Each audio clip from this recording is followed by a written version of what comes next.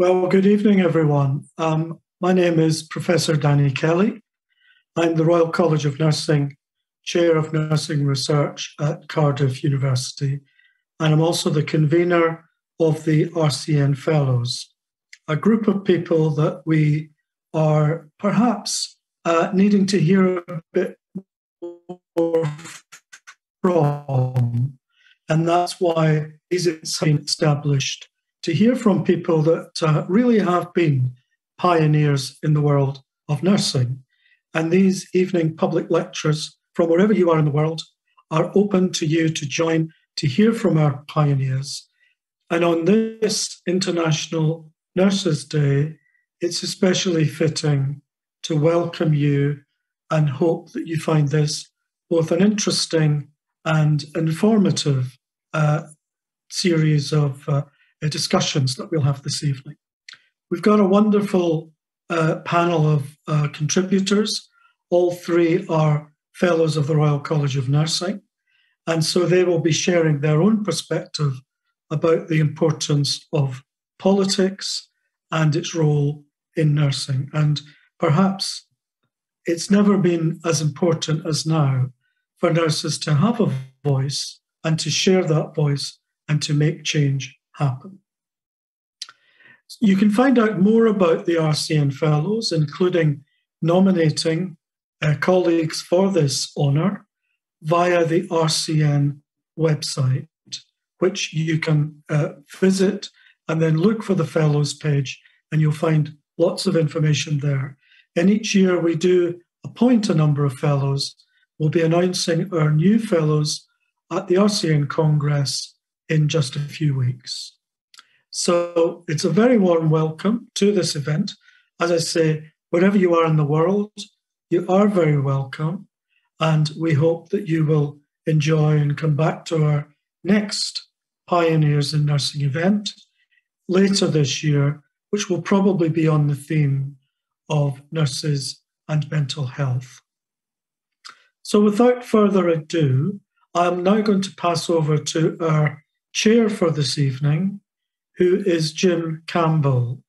Now, Jim has kindly agreed to undertake this role for us. He's had a busy few days recently that he may tell us about as director of the Health Workforce Department at the World Health Organization. Jim brings a wealth of experience of uh, the, the international perspective of nursing demand and nursing development and potential. And I know that there has a, just been a, a statement launched, I think it's hot off the press today, from the triad of the WHO, the International Council of Nurses, and the International Confederation of Midwives. So maybe Jim will be able to tell us about that a little bit later. So for now, I will pass over to Jim and thank him for taking on this role for this evening. Thank you, Jim. Thank you, uh, Daniel. Uh, good morning, good afternoon, and good evening, or very uh, early, early morning to some people. I see somebody's joining us from Australia, where it's 2 a.m. Uh, welcome to the people from North America, from Canada, uh, from the four home nations, from India, uh, and then all parts of, of the UK that, that we're seeing there. Um, absolute pleasure to be with you and joining you on International Nurses Day. Uh, and indeed, as Daniel was just saying, we've we've spent the last three days here in Geneva convening um, over 700 participants uh, daily from around the world, over 100 countries represented, uh, members, uh, government chief nursing and midwifery officers, presidents of national nursing associations, presidents of midwifery associations, education regulators, uh, to be talking about exactly some of these most pressing issues that nurses and midwives are facing around the world today, coming out of the COVID 19 pandemic, uh, looking at some of the data and the issues that we're, we're seeing uh, around the world. More than three quarters of countries have experienced labor protests and disputes around working conditions, around the, the burden uh, of the managing the pandemic and essential health services. Uh, that obviously, whenever we see labor disputes, starts to stimulate uh, politics and policy about what are the the underlying policy issues, the underlying challenges uh, for the nursing workforce. And that's going to be part of our theme today. It is International Nurses Day, with the theme of which is uh, a voice to lead. How do we invest in nursing to respect rights and, and secure global health? And we've got a, wonderful, wonderful panel. Uh, as Daniel said, this is part of the RCN Fellows Initiative, bringing distinguished uh, nursing scientists, educationalists, uh, people engaged in uh, the work to actually come together uh, to to input and inform some of the personnel that are still actively engaged in the delivery. Uh, we've got um, some wonderful uh, Jane uh, Salvage, Neslyn Watson-Druée, David Benton, and I'll ask each of them just to do a slight intro for themselves on the first time they speak, um, the, who I have the pleasure to know and work with. Um, we're going to have, in terms of the agenda, we're going to have a, a, quick discussion, and we'll put up a slide shortly around Catherine Hall, um, uh, the General Secretary of the Royal College of Nursing, and uh, herself uh, an innovator, a leader, uh, making sure that the voice of nurses was represented. I'm going to ask the panel a few questions on, on you know, the, the image that we have, and we're going to use that to start to construct a discussion.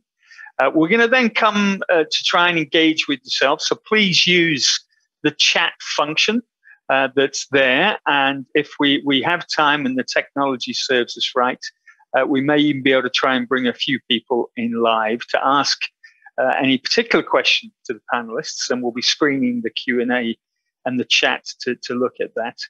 And then we'll come back to some closing words from the panelists uh, accordingly. So we're going to hopefully um, keep to time and everything else. I was I was with many many chief nursing officers yesterday, uh, and I said to them alongside my role was really the chief timekeeping officer, uh, and that's going to be part of today's role as well. So if I can ask our dear colleagues at RCN to put up um, the slide of Catherine uh, that will start, and hopefully, even you, you know, where, wherever you're joining from yourselves, you know, what does what does this image say to you? Uh, this is the the general secretary of the RCN, you know, with a, a prolific leadership record in the period that she was working, um, a member of the General Medical Council, um, a member of the, the Commission on Industrial Relations, and clearly, I've just mentioned you know, the issues that we're seeing around the world, and we've people joining us from Northern Ireland, people joining us from the other home nations will be aware of some of the tensions that we've been seeing in recent years. I think when Dame Donna Kinnair was uh, on the picket lines a couple of years ago in Northern Ireland, it was the, the first time that we saw uh, uh, Northern Irish nurses on strike in the history of the Royal College of Nurses. So obviously, industrial relations a key issue. But really, uh, to, to my panelists, you know, you're you've experienced uh, personally uh, the the role of leadership, the role of, of, nursing. What does this image say to you? Uh, outside number 10, outside the seat of, of power in, in the United Kingdom and the parliamentary process, uh, what does this say to you? Um, Jane, let me come to you, you first. And like I said, if you just give a, a few short words of introduction so that everybody uh, knows you. Hello, everyone, and greetings from uh, Florence, Italy, which, of course, was the birthplace of Florence Nightingale, and that's why she was called Florence. So it's a particular pleasure to be able to speak to you from, from this uh, gorgeous city. And of course, it takes me back seeing that picture of Catherine Mary Hall, who was actually General Secretary when I became a student nurse and joined the RCN, which is an awfully long time ago. And I know I don't look anywhere near that age.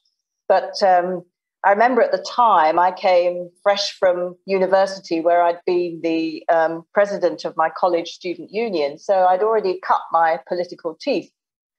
There were sit ins at university. It was a very sort of time of great, enormous political ferment and excitement. And then I came into nursing, which suddenly felt a very sort of conservative place to be. And when I went to RCN Congress for the first time and saw the likes of Catherine Hall, in my ignorance and perhaps arrogance, I thought, well, these people are very old fashioned. But of course, people like Catherine Mary Hall and the other pioneers in the earlier days of nursing were enormously political and had great savvy. And there they were at number 10. And I'm sure whoever was occupying number 10 at the time probably quailed in his boots uh, when he saw her coming. So I became an activist. And just to as a reminder, if anyone remembers this book, which was published rather a long time ago now, with this groovy cover, which again was a bit of a breaking the mold of what nurses were meant to be reading. So at the time, there was lots of discussion whether we should be professional and political. Was it politics with a small p or a big P? There was a lot of um, anxiety around being political. But I think um, we've moved on a long way since then, as evidenced by the kind of discussion we'll have today. And I just want to flag up before I hand back to you how delighted I am that the RCN is back in the International Council of Nurses. Um, many of us campaigned very hard for that return to happen, and it's a bright spot in an otherwise rather gloomy time for the United Kingdom. And being in the ICN reminds us of how global the issues are, that the sort of things that we worry about in the UK, as Jim has indicated, are really in different ways and with different nuances, but they are global issues. And if we are going to solve them meaningfully, then I think we need to be able to join, make common cause with our colleagues across the world. So I think that's my opening thoughts, Jim. Thank you. Many, many thanks, Jane. And indeed, congratulations to the RCN for, for rejoining the International Council of Nurses and for all that work. And um, it's, it's, you know, we, we knew you were an activist from, from the early days, and it's still uh, part of your real passion, Jane. We're, we're very much aware of that. Um, I, I, think also with, with Dr. Neslyn uh, Watson-Druée, um, uh, another author and contributor to many issues around leaderships and uh, innovation. Um, your own personal reflections on uh, Catherine Hall here in the photo. And please do to give a few words to introduce yourself. Okay. I am Neslyn Watson-Druée. I have had the pleasure of having been involved in nursing, midwifery, health visiting, health promotion, nurse education, and I just love the image that Dame Catherine has left for us. She's just such an icon. And what I love about um, this photograph, it actually demonstrates that nursing and nurses need to be at the center of political issues. I cannot think of any aspect of life that nursing and nurses are not really having an impact on. So for me, I really contextualize politics as the conduct and the management of political affairs and I'm understanding the impact that they that politics actually can have on everyday lives. And I certainly accept the broad aspect of politics takes place in my life, it takes place in your life. And so every person is um, implicitly involved or concerned in creating a just society. And when I look at the, the, the, issues that we have been dealing with in the pandemic, you know, the issues around workforce, the issues around ensuring that um, our patients and clients are safe, in, in um, ensuring that um, the communities are safe, ensuring that our staff are safe. When I, I then begin to uh, see and perceive politics uh, as from a very public view. And for me, I see politics in every aspect of human activity. Um, we know that in nursing, um, politics is so important. You know, nurses are involved from the cradle to the grave, from birth um, to death. And to that end, my area that I take a lot of pleasure in is around leadership and leadership within our institutions, leadership within our professions and government. This is just so um, important. I find that I would have loved to see in every country in the world where the workforce issues of healthcare, nursing, and nurses is really at the front and center. Some I remember having a, a discussion uh, some years ago around the importance of nurses stepping into their leadership and being political. And one nurse said to me, so, what has politics got to do with nursing? And my response is that I see politics as central to nurses and nursing because we are at the front line. We are at the front line of healthcare. Uh, we have a very unique perspective in seeing people's lives and understanding the impacts of policies on people's lives. We, we, we are working with all sections of the um, community. Politics is just so important when we begin to think about workforce mental health. Mental health. Um, the pandemic has really shown us the importance of well-being.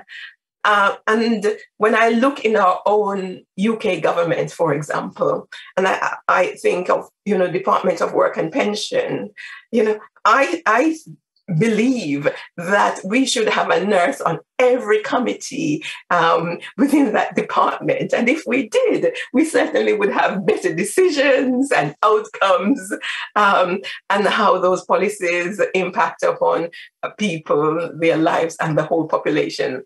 And it is worth saying that um, whatever frameworks uh, we look at in other countries, the same principles apply because nurses are involved with lives from cradle to grave. We're exposed to the issues of individuals, we're exposed to the issues of families, we're exposed to the issues in communities. And today, as we are in this um, discussion here, we are focusing on nursing and politics. And I do agree that um, health and uh, social care systems need to be safe. And if to, that safety starts at the very beginning of providing an environment within which our workforce can do their best. We know that when we have, have staff shortages, we do not get the very best care. We know that when the health and mental well being of our uh, staff are not up to standard, we do not get the best care. We know that when, that when we have sufficient community nurses, that we are able to give better healthcare to communities and keep keep communities safe.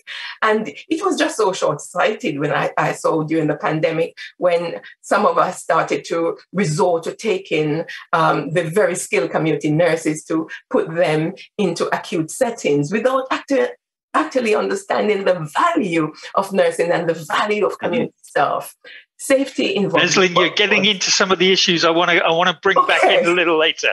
Um, so let me put you put you on hold, but don't don't drop those thoughts. Um, let me come to David, Dr. David Benton. Um, I'm, I'm, looking at the chat. Alan Ramsey has, has, looked at that photo from Australia and said it's made the connection with the Iron Lady and Thatcherism um, and the whole issue there. But David, wh- where, where, are you coming from when you see this picture? Um, thank you very much, Jim, and, and welcome to everyone for International Nurses Day. Um, I'm based here in Chicago. I'm the chief executive of the National Council of State Boards of Nursing. And when I look at this picture, there's a number of very key issues for me when I when I look at this. Firstly, um, I think some of the work that Dame Catherine did in terms of inclusivity, bringing uh, different parts of the nursing profession into a coherent entity, I think is very important. Because if we are to speak with a strong voice, then that has to be a unified voice. So I think some of the work that she did in the 60s and 70s was really very, very important in marshalling uh, uh, common thoughts, which then becomes much more difficult for our politicians to um, avoid having a serious discussion and taking action upon. So I think that's one of the key the key messages I take from this. The other aspect of this, which builds on this idea of inclusivity, is the fact that in her very um, uh, uh, uh, prestigious career, she actually served in many aspects of the nursing role. Um, she was a leader in uh, at hospital level.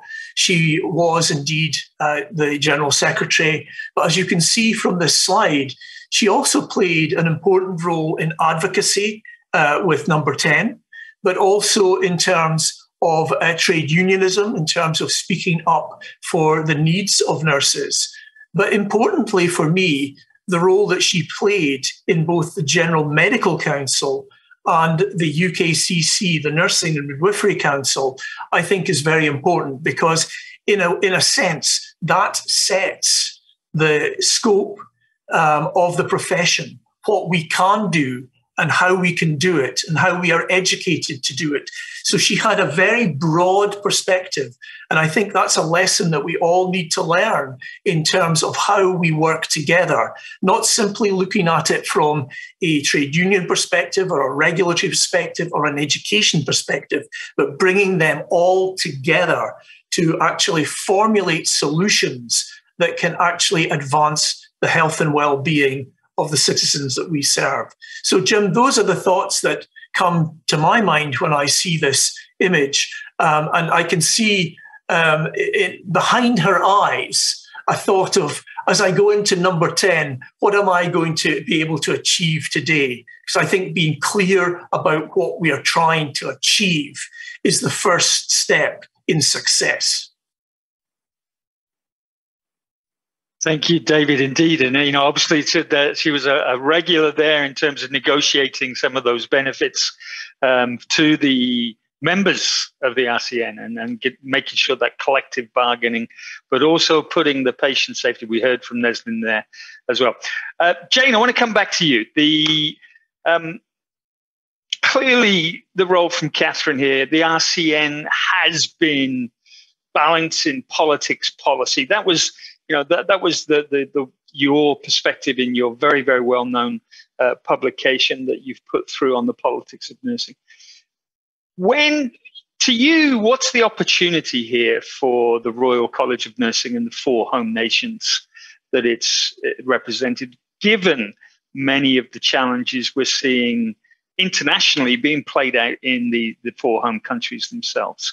What, what you know, if it, as a fellow yourself, what can the RCN be doing um, to really take advantage of this this policy and political role that it has? That's a really good question and quite a difficult one. I think that um, some of the issues that the other colleagues have already raised are very relevant in terms of um, the need to sort of have a clear agreement on what it is we're fighting for, to share our goals, to be really um, political in the widest sense, to be very savvy about what we do and how we do it and how we present ourselves. And I think it's easy to say that, but very difficult to do. And one of the issues about an organization like the RCN, which is, is very big, it's got a lot of members, it's very diverse in its membership. And I don't think it's any secret to say that it's there have been deep divisions within the RCN about, for example, issues about whether we should be in ICN or not. And is our role just to look after paying conditions of our own members here in the UK? Or do we have, as I believe, and of course I think most of us on this call believe, that we have a much wider role to play? So I think there's something perhaps about being honest together because unity doesn't mean a kind of um, a false sense of, oh, yes, we all agree on the easy things. But perhaps we can learn from our RCN experience and the challenges that we have about how we really can find the common ground and really say, well, these are the issues that we can all fight on together. And I have to say that some of that is around the issues about men and women, um, because of course, um, the majority of nurses, the vast majority, it's about, I think it's still about 90% um, worldwide are women, but the higher up the hierarchy you go, the fewer, the lower the percentage of women. And so that brings the issues about representation and um, challenges and how you can ensure that the majority of uh, the women who are nurses actually have a voice and are accepted as having something valid to say and being a full part in the whole sort of picture. And that, of course, I mean, the work I'm currently doing with um, with WHO around midwifery leadership, you know, you see there the enormous challenges that women face in so many countries simply to be recognized, to be heard, to not have to constantly fight on so many fronts and trying to sort of look after the family, the elderly relatives, run the ward, be political, the enormous challenges that women face. So I think those, we have many advantages in the UK, but I think we need to be mindful of that and find some ways of really genuinely seeking common ground without minimizing the differences of perspective that are part of what a mass movement should be. Absolutely. Jane, I'm, I'm really glad you, you brought this point up. Um, you know, we've published in the State of the World's Nursing, the State of the World's Midwifery reports, these global comparisons, some of the challenges of exactly women in the workforce, uh, which are a challenge everywhere, but women in the health and care workforce, especially during the pandemic, have been multiplied over and over again. Occupational segregation, sexual violence and harassment in the workplace, uh, gender pay gaps, which are unexplained other than the fact of purely being female. Um, the, the lack of opportunities you mentioned for leadership. Dr. Neslyn, please, you, you know, you've been looking at many of this, these issues throughout your career. Um, some perspectives on that. How do we overcome it? We, we, we know the problem how do we, as leaders and political activists, make the change? I would like to build on all that Jane has already put on the table. And I, I would like to lobby um, very strong to have a stronger nursing voice right across government. As I said, you know, on every department that at the, at the moment I am involved primarily in coaching civil servants. And I can actually see in every area of government where a nursing voice could add to better policies. Um, and, and in the end, we would have better outcomes for our populations. So um, from and and we can't do it alone. I think this is where the tripartite between the, um, the World Health Organization and the Royal College of Nursing, the Royal College of Midwives, and other organizations coming together and really putting the nursing voice strongly across to governments, not in all governments, because I think when we look at um, issues in regard to public health, public health nurses have such a lot to add to that. Nurses in general have a lot to add um, to better public health, better safety, mental health issues. So, yes, lobbying strongly. And I can add later, but that's yeah. that's where my passion. Lobbying, exactly. David, David, from the the regulatory perspective, um, know, obviously the, the, the, conditions, the opportunities are all part and parcel of those discussions. But again, what what what could we be doing more of? So I, th- I think first of all, we need to think about politics um, both with a small p and with a big P. So the image of Dame Catherine Hall in front of number 10 is one a big P political venue, but there, of course, are others in Edinburgh and Cardiff and in Northern Ireland as well, um, where there are opportunities. And, and, indeed, a discussion I had with another uh, General Secretary, with Christine Hancock, um, was around the fact that we should be leveraging ambition across the four nations, but also across Europe and across other nations as well. So, learning from the experiences and the successes of others and highlighting those as exemplars that we can then move forward.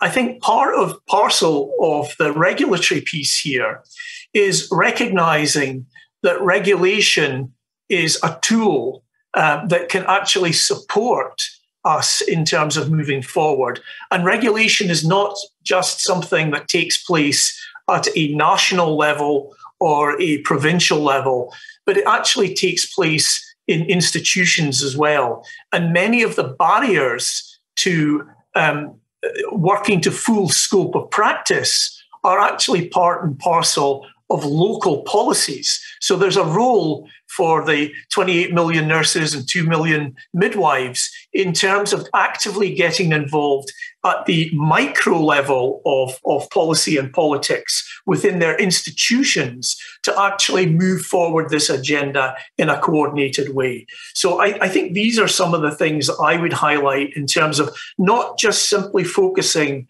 on the governmental political agenda, but actually thinking really widely about where nurses are. And indeed, the point that Neslyn made about actually working within communities, um, within schools, and with other settings where there is a real big health dimension. And if you think about the, uh, the sustainable development goals, the impact that nursing can have on issues like climate change and some of these broader impacts that have a fundamental impact on the health and well-being of all. So we really need to um, open our eyes and uh, raise our voices to a much wider set of issues. Really good. And I'm, I'm seeing both Jane and, and Neslyn uh, nodding in agreement with some of the comments you've made there, David. Um, so in which case, uh, you know, how, how do we encourage, how do we mentor, engage, provide opportunities for the nursing community worldwide. Um, our student nurses, our early career professionals, our, our senior nurse leaders, our political leaders. How do we provide opportunity to really enable that? I, we saw the Nursing Now Challenge around the world trying to really invest in this leadership, this voice uh, opportunity. What again, you know, what's the role of RCN? What's the role of existing nurses to look at those opportunities? Neslyn, let's let's. You were talking about this community in the school level. What's your thoughts? Yes, and I, I do believe that um, building on, on what David has also put on the table, you know, the importance of, of the nursing and midwifery um, curriculum, the curricula in, in, in general, because Jane had uh, a, a, strong impact on me in, in the late 1980s. And when I began to think about what is politics and the impact of politics. And I remember when I saw levels of management that were not good enough. And I felt well, I suppose I was a little bit brazen to think I could make a difference, but I thought I could make a difference. And I literally, I wrote to the Secretary of State and I said, you know, these are issues that actually need to be addressed and I can make a difference. And I was given the space to make that difference in terms of developing a leadership demonstration program um, that has a ripple effect right across not just the NHS. Recently, I was speaking um, with the Leadership Academy in the Nuclear Armament uh, Agency, and my work at that time had an impact in setting the stage of what a good leadership development program could be. So that came from a nurse. So you know, so I'm very proud of things like that. You know, when we look at the um, uh, education and community, what is happening at the community level. Health promotion, health education, uh, it's just so important. And I don't think it's given the opportunities anymore. Health visitors and midwives going into school and and really contributing to um, the curriculum had a strong impact. What have we done? We have taken away a lot of that, and as a matter of that, our communities are poorer. Our communities are poorer, and I I don't feel we are making sufficient noise about that. And there's more, but I'll come back because I have a lot to say on that. Jane, if I uh, ask you to build on that as well. You're on mute. I agree with Neslyn, but I also think um, we have to, the challenges with our huge workforce that we need to focus both on the on all in all the, the whole spectrum. And I think the real challenge for me continues to be that um, leadership at the very top of nursing um, needs to be stronger. And there are so few opportunities still to have effective leadership programs and leadership development, especially. Um, I'm not interested so much in the programs where you go away somewhere and you hear about the theory of leadership and then you come back to your workplace. It's about developmental opportunities for leaders within the workplace. Because if we don't have people at the top tables, whether the top table is in your hospital or in government or in your um, whatever, if you don't have people there, and if you don't have people who are effective when they get there, because so many of us, we get there and then you might be the only room in a, uh, the only woman in a room full of men, or you, you talk and you feel your voice is squeaky, all those things. So if we can't do that to be effective policy advocates and activists, we're, we're going to continue to be in trouble because our situation has not changed, changed enough. Things aren't changing far enough, fast enough. So I think we need to do that. And then the other bit I want to say about it is that we it means we have to learn how to play the political game. But we also need how to we also need to change the rules. And that's quite a difficult balance. So you need to be both to be as good as the people who are in the traditional roles and to be able to to to feel you're there the equal and not to feel frightened to challenge, but at the same time, you've got to be subversive to make things move along and change. So I think there's lots of balancing acts in that. But of course, it can begin right at the beginning if with the students you've got mentors, you've got the teachers encouraging that, rather than saying, don't speak up because you'll threaten your career, which is the kind of thing yeah. that I was told. David, uh, that's uh, we, you're in the United States. You've been there for a number of years now. You grew up in the NHS. Do we see the same problem in the US? Is this a home nation's problem about you must fit into a box, you must be in a position. You know, is is there more energy around nursing in the United States? So I want to kind of link it to the point that, that Jane made about leadership at the top. Um, I would say that um, there is huge diversity, whichever nation you go to, and, I, and I've been privileged to visit many nations, um, and it is about the role models that people have that can that they can emulate. And I think one of the things that we do as nurses is we actually downplay the contribution that we make. We do not celebrate our successes often enough, and we do not put them forward as exemplars for others to offer constructive criticism, uh, potentially adopting or modifying them as well.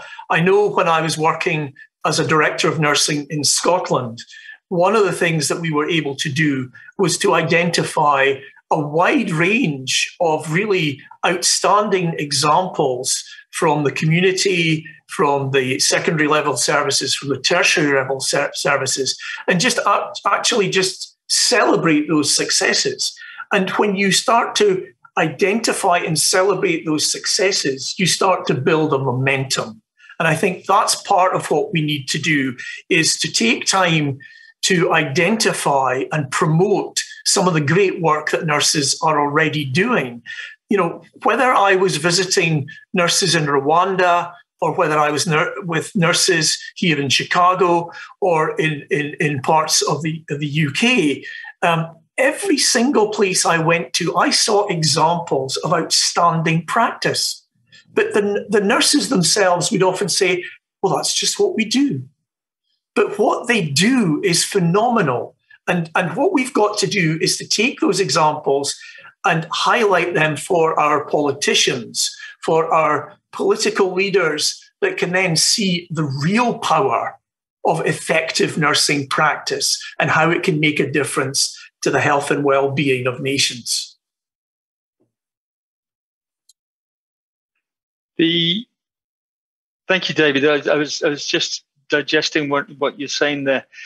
Um, Lord Nigel Crisp, who, who's just um, was championing the Nursing Now campaign, and again looking at the all-party parliamentary group in the United Kingdom, looking at some of these issues around mental health and well-being of the workforce, also looking at the future of the workforce, uh, has really come on board as the former chief executive. We've got the the former minister Jeremy Hunt really now saying one of his biggest uh, you know mistakes was not addressing the workforce issues. Um, how, how, do we communicate? Why is it that you know we you've got some examples like you all recognize, real examples of exemplary behavior, making the change, the leadership in the menu, but something seems to be at the the you know as we rise up, we're not having the same voice, and then it's only as people leave that they're suddenly now becoming workforce champions. Um, what's the disconnect here? Um, Jane Neslyn, you're, you know, you're there in the UK. You're dealing with the civil service. You're dealing with government. What's the disconnect? Oh, go Jane, I'll follow. well, it's interesting that you mention Nigel Crisp because I wonder whether to tell a little story, and I'm sure he won't mind. I don't know if he's listening in or not. But I worked with him on the um, Triple Impact report because when he was uh, he was chairing the all-party parliamentary group on global health, and I was an advisor to it. And he, I had tea with him in the House of Lords one day, and he said, and they'd done a series of really excellent reports, and always my comments were, but where is the nursing in this? You know, nurses just didn't appear in the reports. Anyway, one day he said, let's see, we had tea, and he said, I think we should do a short report on nursing. And I think he thought I'd be really delighted. And you can imagine, can you imagine what I said? I said, a short report. Why does it need to be short? We are the biggest part of the workforce. He sort of sat back a little bit, sort of. But anyway, so on we went. We did the report, and we, it was a fantastic process and very exciting. And Nigel, who had been head of the um, UK National Health Service, among many other distinguished posts, when we launched the report, he said, he said, I've learned so much from this process. I thought I knew about nursing, and now I realize I didn't really know about nursing. And I thought he was extraordinarily honest to admit that. And if you think someone of his experience and in that position doesn't know enough about nursing, what is it? Is it that he had a deaf ear, or is it that we still have not learned how to be good advocates, to find the right people that we need to influence, and to find the words, to be persuasive, to win the arguments, to present the data, so there's something about that that we either don't feel confident enough to do. I'm only a nurse, you know, that phrase that we all dread. Some low self esteem, the women's issues. So I think it's, we're still some way to go. And I think it's sort of some ideas about how we might improve that apart from more leadership programs would be a very useful idea. And Jim, you could tell us because you, you you're not a nurse. What is it that floats your boat when what is it that turns you into thinking, yes, I've got to do something about that? The uh, for me personally, I mean, a lot of people say, "Why nursing, Jim? Why why are you so involved with nursing midwifery?" And and for colleagues around the world, you know, I was the uh, the lead uh, or sort of primary investigator on the, the first state of the world's midwifery report, the second, and then we we developed with colleagues, with partners. It's always with partners. Uh, the first state of the world's nursing here in WHO and, and, and the international year. To me, not only I mean my family, um, we have nurses surrounded surrounded in all parts of the family. Um, the COVID nineteen pandemic, my nurse relatives in the United Kingdom, here in Switzerland and in Kosovo, all in, infected with COVID 19. Um, in the high income countries of the United Kingdom and here in Switzerland, full recovery, survival. In Kosovo, which is modern day Europe, but with less resources, unfortunately, no oxygen, and uh, our relative passed away. Uh, and that's the, the, issue here. How do we have equity? How do we drive the same opportunities around the world? But also the science, the evidence uh, is really, we know the evidence, we know the impact that they're making day in, day out. If we, if we, if you believe in public health, you have to believe in the scope of practice of nursing to make a difference. Um, it's, there's just, it's in your face. However, we're not getting that message across. We, we recognize that. Is it because we're too shy? Is it because we're too, or you're too humble? Um, is it because we don't, you know, put ourselves forward and take credit in in the institutions and the facilities? Lots of these challenges, but Neslyn, again, I, I, want to come to you because you, you, know the politics of the UK. You know the issues here. Excellent example from Lord Nigel Crisp, who recognised you know, he's leading, he's still learning, even having retired, being part of the Lords, he's coming back to some of these issues. who else have we got? What is as an RCN fellow? Who have we got to influence? We have got to um, influence every healthcare organization. So, for example, at um, trust level, to what extent are workforce issues sufficiently prioritized and strategically placed on, on, on, at the board? And we know that not every organization has a chief um, people officer, but will have a human resource development officer, an HRD of director. There are not always executive officers, you know, and I think until we actually grip, and I think we do need to grip the issues around the workforce and the statistics, the impact, and all of that, and then be able to speak that in a language that local politics and national politics can actually understand. In my role as chairman, and I, I, I spent 21 continuous years as non executive director in the health service, including 10 years as chairman, and I saw how important it was to really have the nursing voice at a strategic level in the organization. And in my own role as chairman, I ensured that nursing voice is really went into strong commissioning forces because as I said, nurses are involved from the cradle to the grave.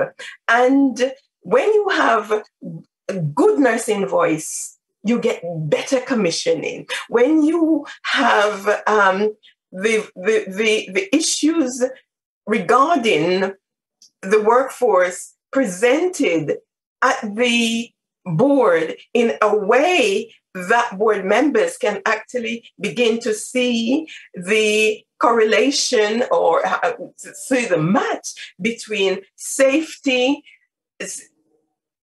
excellence in care and workforce numbers and quality. You know, one of the first things we do, we, we tend to cut training and development, you know, and that is something we, we should be increasing more and more and more. And as Jane has already said, not around just uh, uh understand leadership series, that's important. But the whole point around leading at the top is to really say, you know, what's working well? What's difficult? And how do we continue to improve and impact the quality of care? Following a patient journey, I learned such a lot a couple of times when I actually followed a patient journey that I saw where the weaknesses were. And it's so important. Indeed. Um, we're getting to that stage where I want to, to really engage with our participants on International Nurses Day. Thank you to everyone that's been chatting uh, in the thing from James Cook University, from Kath, uh, Alan Ramsey, uh, Kath McCourt's in there, Joanne Bosanquet, all names I, have I've met over the years or, or seen on Twitter. Um, we've got young students uh, absolutely engaged. You, what are some of your questions and, and concerns uh, coming through? What, there's one question here for you, Neslyn, uh, around the Francis report you know, and the whole issue. You know, we do these assessments, we look into these problems, we identify recommendations and solutions. Does change happen? And, and does change happen fast enough or not at all? Um, from a leadership perspective, from your insights, you know, where, where are we with the Francis report and implementing some of those recommendations? I do think that there isn't sufficient commitment there. that's that's first and foremost. The commitment isn't there. You know, when I look back to what some of the issues were 30 years ago, we're dealing with the same issues now. So where is the change? What has happened? Uh, I see it three steps forward, two steps backwards all the time. Um, and, uh, you know, there isn't sufficient value and sufficient love for each other. It's as simple as that. 30 years on and we're still not having that human appreciation. Um, David, your reflections of change in the UK. Scotland is is making progress. So we're not we're seeing a new strategy on workforce integrated health and social services, nursing uh, really at the forefront of that. Yeah. Um, I mean, a couple of points I'd want to make is I, th- I think one of the things that we've also got to recognize is that we're not in this on our own.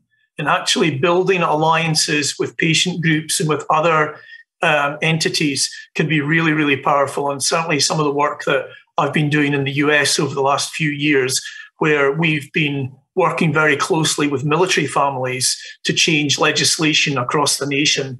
We've managed to get legislation now passed in 37 of the states, um, which is not a small task. And that's been done through collaboration, not just on the efforts of nurses, but on the efforts of those that we serve as well. So I think that's something we need to think about. And, and certainly when you look at the work um, that's come out of Scotland recently, recognition of the changing demographics and the changing health needs is going to be critical. So the, the model that we had in the past um, is not going to be fit for the future. And therefore, the health and social care interface, how we regulate that, how we educate those individuals for the future is going to be really important. But for me, the biggest issue in terms of the visibility of nursing is the fact that nursing is still costed as part of bed and board of services. It's not actually, you can't actually go into the electronic health record and actually identify what it is that nurses are doing 24 7, 365. Because when you start to look at that, that kind of level of data, then you start to see the real value of the profession. So I was I was really pleased, Jim, to see comments made in the Triad report about the need for much greater data, because that is going to be essential if we are really going to move forward the agenda in terms of the real contribution of the nursing profession to the future health and well-being of societies.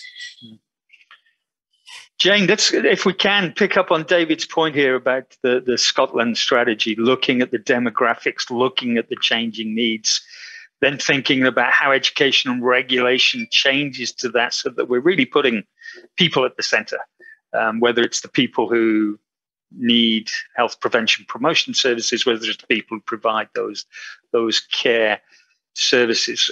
Mm-hmm. Again, what's the you know, as fellows, where, where, where can I, RCN be adding some value to these processes? I think that I've got so many different thoughts. I'm just trying to sort of align them. I think what I was, as David was talking and Leslie was talking, what was going through my mind was again, these are issues we've been working on for a long time. I think the data issues are really important that we have that information, that we then know how to use it, and that it's an iterative process. And we have so much information and excellent reports, not least the ones that your department and others put, put out. But can I tell you, I was saying, thinking about something a bit different and wider. It might take a different. Go ahead. But what I was thinking is that actually, if you look at where we are in the world today, it's a pretty depressing prospect, isn't it? We're just kind of trying to come through COVID, but of course, in many countries, it's far from over. And, and we have the war in Ukraine, and we have the climate crisis. And it's frightening. I feel more depressed about it all than I think I have at any time in my life. And I'm one of the lucky ones who was born after the Second World War and haven't had to live through that directly. But what it says to me is that we have to maybe find some new ways of approaching the old issues because the new issues are supervening all the time. And that classic thing about the crisis being an opportunity that maybe while we're busy collecting the data, the goalposts have changed. And I'm not saying we shouldn't do it, but I'm just thinking maybe we, if we, you know, that if we carry on doing what we always did, we'll get what we always got. How can we actually be more nimble, provide that flexibility of leadership and the inspiration to people to go beyond these terrible divisions that we see all around us to actually create what Leslie said, just societies? And I know that's not your the question you asked, but for me, it's a kind of overarching sense because I don't know about you, I look at the news every morning with absolute dread and think, what next? So, how can we turn that pessimism into something that's going to really help to move the world to a better place. Absolutely, Jane. We we had these discussions in the triad meeting just this week. Um, the pressures that are on healthcare systems worldwide at the moment, and on the people in those healthcare systems, and then waking up and reading the news about the challenges around the world. And yes, climate. Yes, the the conflict in Europe, but also the conflict in Yemen, in Syria, in Afghanistan, in Mali um, we, we, must remember there are protracted crises and conflicts that have been going on for six years with, with less attention. And, we've got to recognize that the, there is a media uh, element about that. But there was also a sense of opportunity. And not that this crisis, there was a real sense of opportunity as we listened to the different experiences about making, using data to inform dialogue to, to then try and create decisions for the better. Uh, and that there was an opportunity that the appreciation for the role of nurses and midwives worldwide coming out of the pandemic is a once in, in a generation, once in several generations opportunity. And so let's let's rather than dwell on the pessimism, let's let's think about that opportunity and where we can go. Um, we had Amy, who's a, a, student nurse, asking about what are the opportunities for um, nurse students to have a voice and get engaged in identifying solutions. Um, but David Neslyn, please, you know, what are the opportunities coming out of this? What what what can we do better? What can we do well, David? So so I think the, the first thing I would I would note is that. Uh, early on in the pandemic, I, I went I went to see what lessons could be learned from the past, and actually, whilst we've had a number of um, not not as serious as the the, uh, the COVID nineteen pandemic, we've had a number of incidences over the years. Very little had actually been documented about that. This time around, nursing has risen to the challenge and has actually shared its experience. And we've got to capture that and we've got to utilize that because what it did demonstrate was that the profession was able to respond quickly, to come together and collaborate. Working with my colleagues here in the United States, with the American Nurses Association, the American Association of Colleges, the National League, and the American Organization of Nursing Leadership, collectively, we came together and really pushed an agenda which was saying these are the really important things. So it's actually about prioritizing, learning, and moving forward. And whilst we are um, in some parts of the world starting to kind of come out of this first phase of all of this, we are going to see an opportunity for technology that we've never seen before. So you know, the question from uh, the student nurse about, you know, what, what, what can nurse, what can student nurses do? They have got to embrace some of these opportunities and demand from their educators a different approach to actually preparing them for a new future, not a, a, a, future that you know Jane Neslyn and I were trained in 40 years ago. That's that's not where we're at. We've got to look to the future and actually embrace technology in a way, looking at population health needs. Because sadly, in many countries at the moment, the um, the age um, of, um, of, I mean the the the, the kind of um, age of many of our citizens is actually going down. It's not going up because of things like chronic uh, chronic diseases, which um, we have a solution for. We know what the solution is, but we've actually got to embrace that both in the community and in hospital and in schools um, as part of this agenda. Thanks you, David. We've got Dr. Crystal Oldman um, on, on the chat saying, you know, there are examples of this optimism where it is working, where it, there is real improvement. There's a, a, a strong workforce, good leadership, and everything else. Uh, similarly, Neslyn, you know, again, from what's the opportunity and what, what can we be doing to really take advantage of these unique circumstances? I think that we have huge opportunities. And I, um, uh, David mentioned, you know, there is huge learning that we can actually do from, from our younger people. They are more adept with technology than we will ever be. We need to bring bring them into the strategies um, um, for the technology and, and implementation. So let's go forward and involve um, the younger voices, involve the students. When we talk about policies and practice, you know, it starts from the very, it starts at a very early stage, and we need to bring them in. Indeed. Uh, Beverly Dean's asking a question. How, how can we deal with the big retention issue? How can we, what are your thoughts, panel? We're hearing stories of intention to leave as really escalating, that all these pressures, all the experiences, the lived experience coming out of that. How do we deal with re- attrition and retention? What's going to, leadership, what, what's the role here? So, Jim, if I can jump in there, I mean, I think one of the things we've got to differentiate is between those people that are genuinely completely burnt out and want to exit the profession and those that are actually leaving a particular job because the um, terms and conditions of that particular job isn't um, as, as, as positive as it should be. And I think we've got to differentiate on some of those things. We've also got to recognize that there are generational changes taking place. When um, you know, when when I went into nursing, it was it was viewed that I was probably going to be there for the remainder of my career. But we now know with the generational changes that people will change career several times. We haven't actually thought through what that means in terms of how we capture experience from one sector and we facilitate entry into another sector. So we're starting to see some of that in terms of people that have maybe done a degree in, in biology and how you can fast track them into nursing, etc. But really thinking about some of the, the wealth of experience that people have. These are some of the discussions that as a profession and as a society we need to have if we're really going to address this recruitment retention issue, because it is not just about nursing this is actually a, a fundamental shift within society.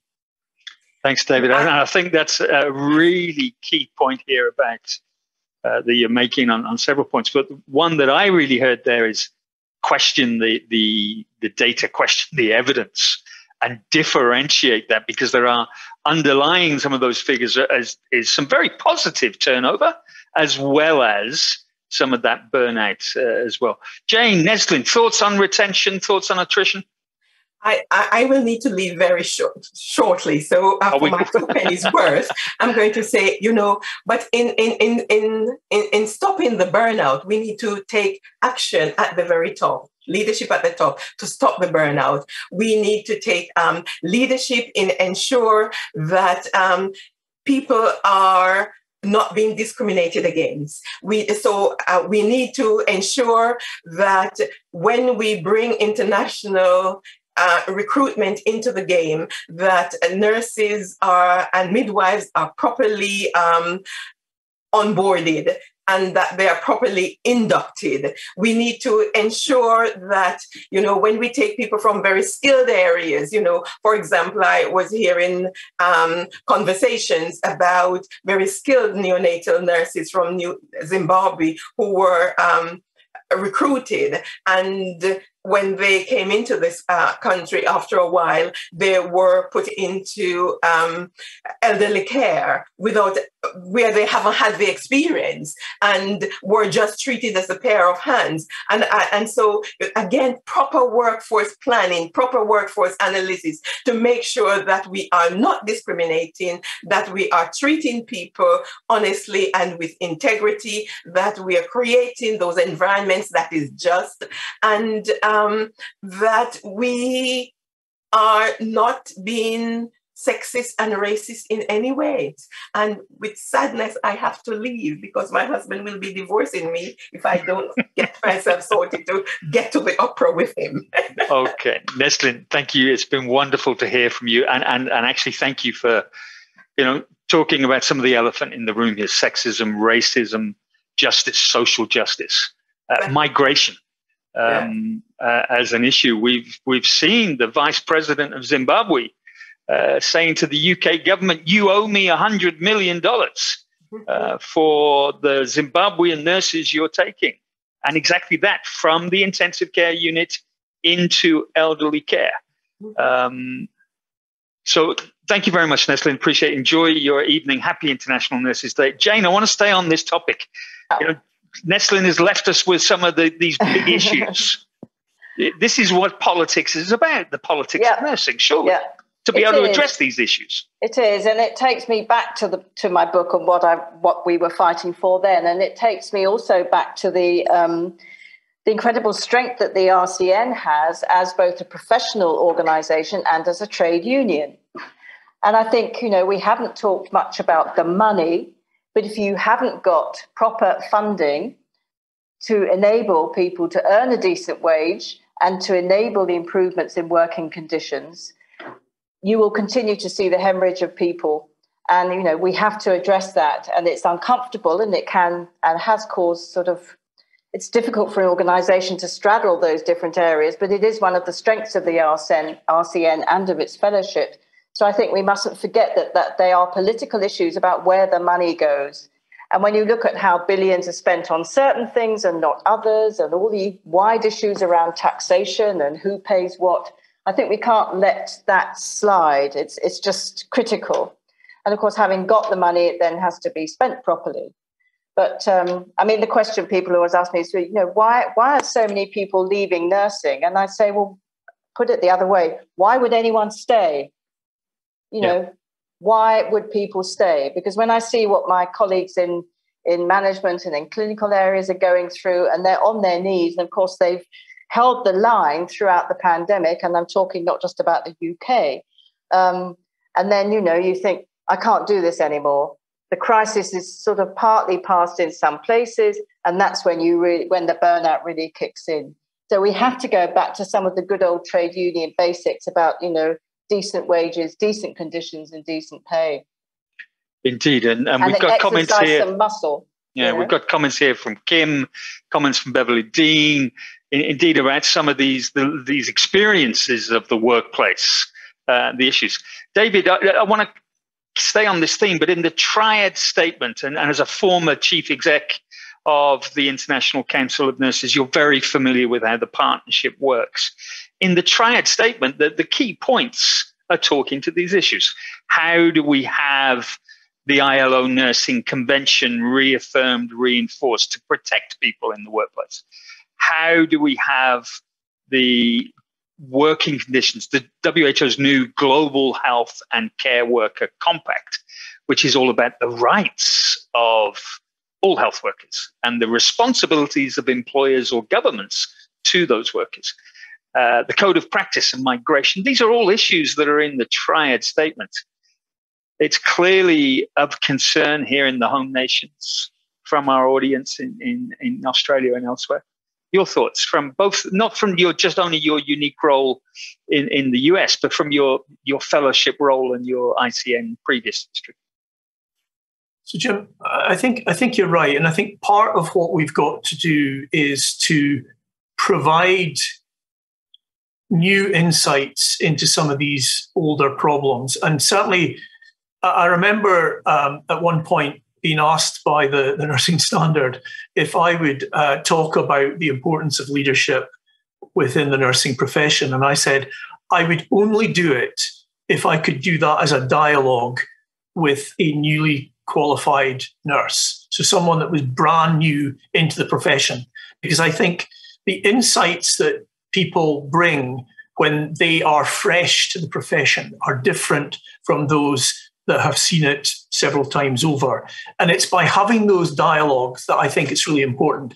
I think one of the things that WHO has done um, recently, or relatively recently, is really to embrace some of the other UN agencies in some of the work that uh, you've been doing. Um, because I think it's only when the different agencies come together that we're not just simply dealing with the health ministry, but we're now dealing with the Department of Labour or the finance departments that we're really going to start to see movement. So, bringing new perspectives, coordinating perspectives, because you know the, the health minister is one person in a cabinet. And if you can get the Minister of Finance um, and the Minister of Education all asking for the same thing, then your chances of actually getting success is, is much more important. So I, I think what we've got to do with things like the, the triad communication is to look for more partners in terms of moving these agenda, agendas forward if we're going to be successful. Um, making sure that new perspectives are brought to bear. Um, because there is no such thing as a silly idea. It's a perspective that makes you stop and think and come up with a better solution.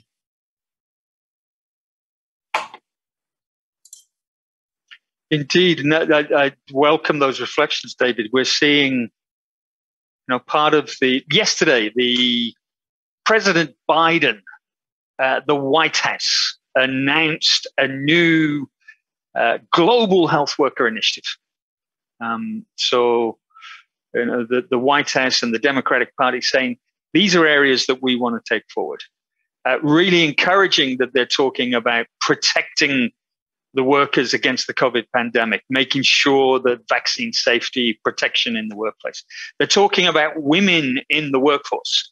They're talking about pay equity. Uh, they're also highlighting some of the evidence that WHO published, as you say, with other UN agencies, with the International Labour Organization, with the uh, Organization of Economic on the economic value of investing in nurses. Jane, you talked about the triple impact report uh, for nurses, which had these impacts on gender, impacts on the economy. Um, is are we all familiar with this language? Are we, you know, you're saying, David, it's good to see that you've got that international experience. For our participants here, uh, do we get those messages out to people who are in the practice environments? Jane. Well, I think we, we tried to make those arguments in the triple impact report, and some of you may remember the um, Gordon Brown's Prime Minister's Commission on the Future of Nursing in England, where we also, uh, with a you know very sort of extensive exercise of consultation with nurses and the public, a wide range of inputs, we also there tried to make the arguments about the social capital that nurses bring um, to try and frame the what can sound rather economistic arguments, they're important, but to frame them in a wider social context. So you, you're thinking about social capital, human capital.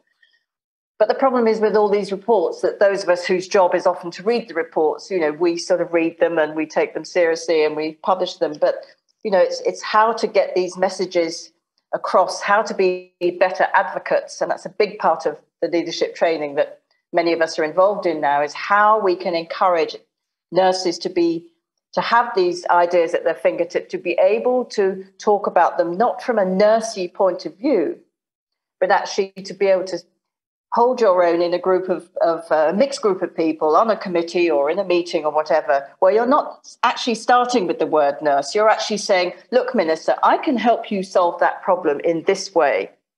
So it's really trying to turn it round to be an advocate in a, in a more sophisticated way rather than what we tend to do because we're passionate and excited and we say, you must do more for nurses. Actually, it's about this is what we can do for you. And I think we need, therefore, then to have those arguments at our fingertips in language that they understand. And if they're politicians, the only thing they really understand is who's going to vote for me and will I get the vote if I do that? So I think being more political in that um, politically savvy way and being able to use the evidence that we've amassed in your reports, in our reports, in RCN reports, but really to just have them there at our fingertips and use them appropriately in the right forum. Indeed, and maybe that's uh, uh, an opportunity for the, the Royal College of Nurses uh, with the fellows, with the members. How do we get those critical messages out? How do we cascade them down?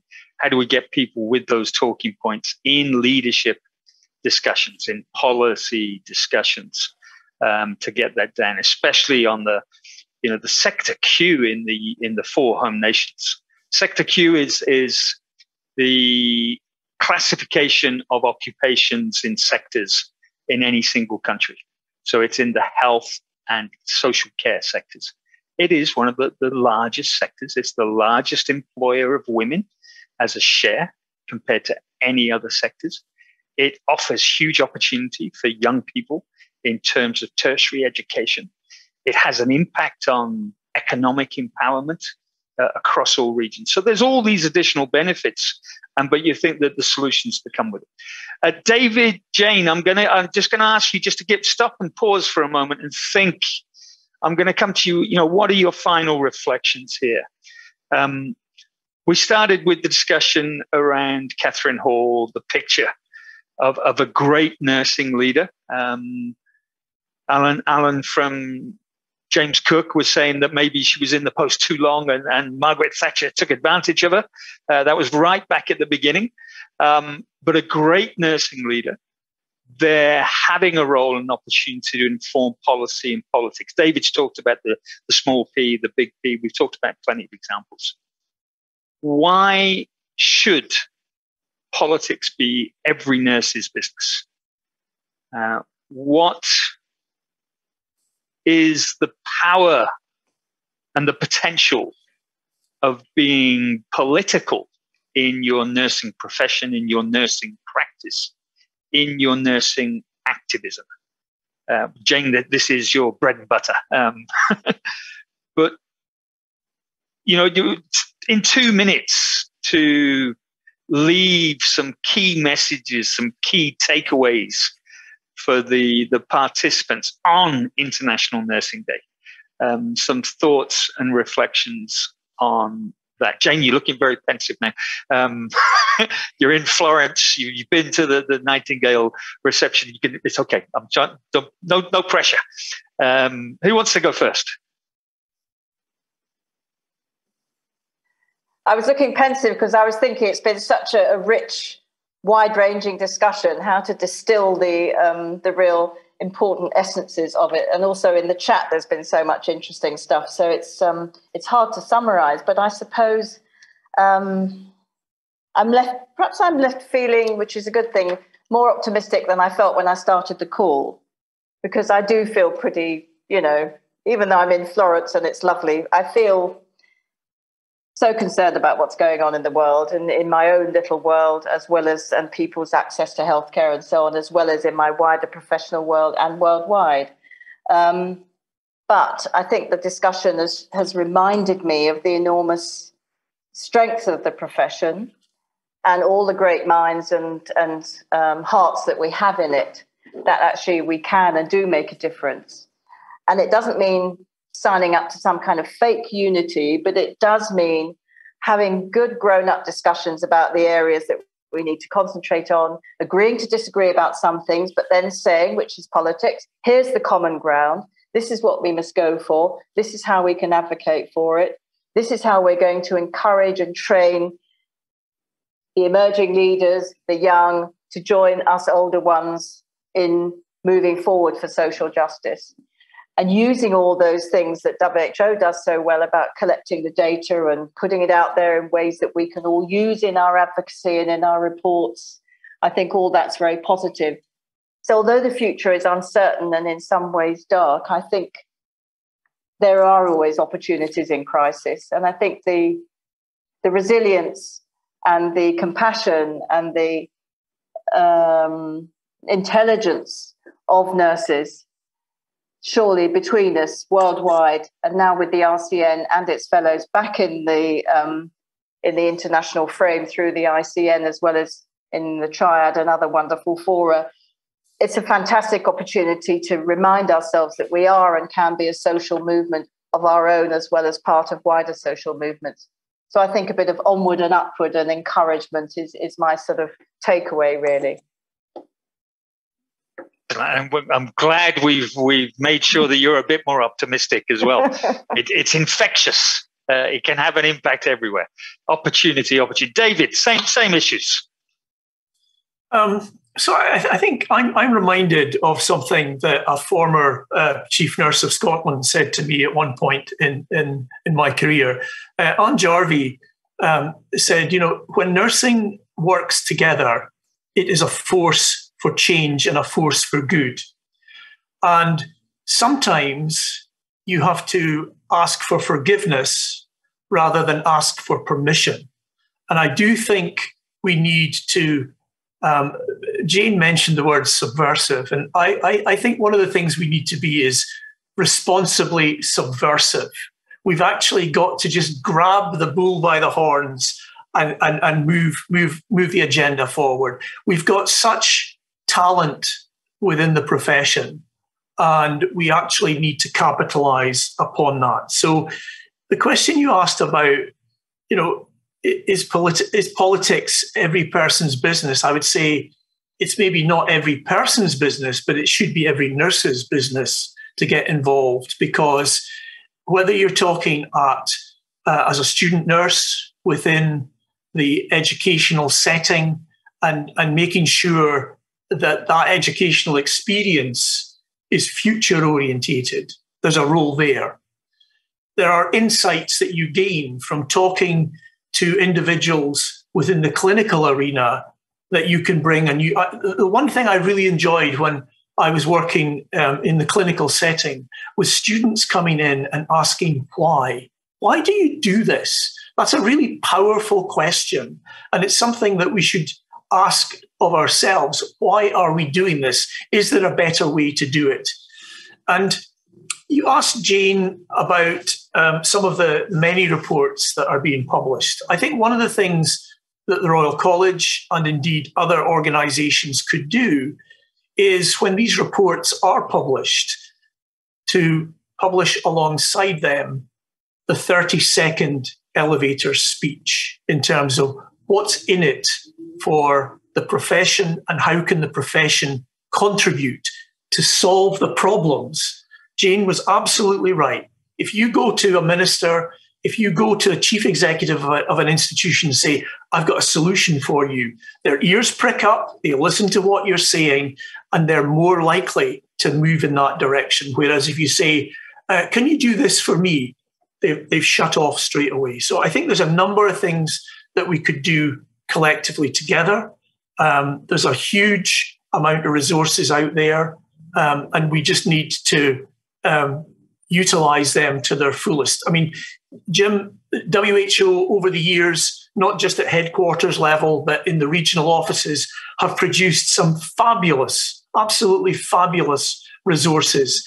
And I'm not sure that everyone is aware of their existence and the utility that they have. So just promote what we've got, redesign for the future, and work together because together we will achieve far more.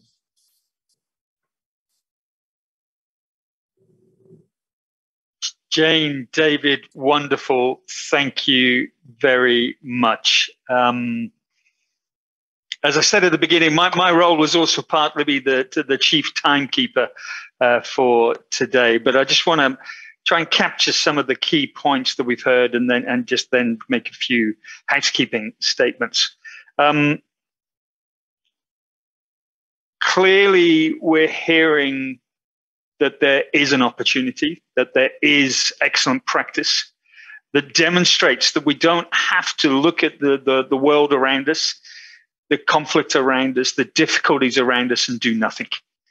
We can take action that action, we're solution oriented, using our data, using the opportunity of partnership, engaging student voices. Uh, means that we can find an opportunity to make improvements, to make change uh, in the role of nursing, using this role of nursing and politics to get further forward. We don't need to seek permission. There you go. You heard it from an RCN fellow. You don't need to seek permission. You can ask those difficult questions, those probing questions to move further forward. There's an opportunity with technology and, and with our students and early career professionals and their engagement with technology to do things differently. We've learned from COVID. Scope of practice has changed. Engagement and education, engagement in clinical services has changed. What opportunity to really reaffirm, reinforce the stuff that's working well that makes patients happy. We need to address staff safety. We need to address patient safety and put it all together in the way that we do in working with communities and others. Um, colleagues, it's International Nurses Day. It's the 12th of May, on the 5th of May, we had International Day of the Midwives. On the 4th of May, we had Star Wars Day, which was May the 4th be with you. And David, that's what you're saying. It is make sure that we are a force for good.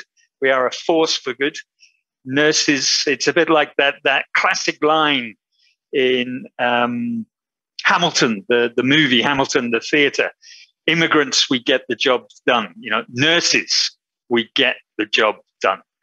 Uh, let me thank uh, Jane, David, Neslyn. Uh, let me also thank all the colleagues in the RCN, the library, the archive team, uh, Daniels and others. Let me thank Kath McCourt, uh, who put this panel together and, and is helping and supporting the Fellows Committee. Um, please do, there's a message in there from the RCN colleagues. There is an evaluation form. Uh, take just 10 seconds, you know, two minutes, a minute before you jump into your glass of wine or whatever it is on Nurses Day. Jump in and do that. For those in Washington marching down the parade, to recognize those nurses that had lost their lives and those who are ill. Yeah, may, may the fourth be with you as well. Um, and to everyone, thank you very much. Politics is part of the nursing profession. Make it part of your practice. Thank you, everyone, and have a wonderful evening, day, wherever you may be.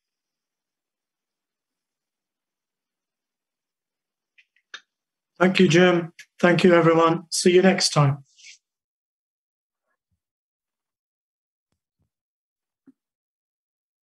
Thanks very much, uh, uh, everyone. Um, I'm just going to leave the chat open for a few minutes uh, more so that people can click on the links uh, if they like to. But please just feel free to leave as soon as you're ready. Are we muted now, um, Sarah, or, or, they can still hear us? Um, yes, everyone can still hear um, at oh, the. Okay, so it's not a confident. But anyway, thank you very much, RCN. Happy, uh, happy evening and everything else. Um, stay well, stay happy. Thank you, Jim. I thought you did a fantastic job in such a really wide ranging. I thought you you did it brilliantly, and you know I'm not prone to give you lots of compliments, but I've you know I thought you deserved one this time. Thank you, Jim. Absolutely, you, really. Jim. You take take care, and thanks very much for a great a great evening.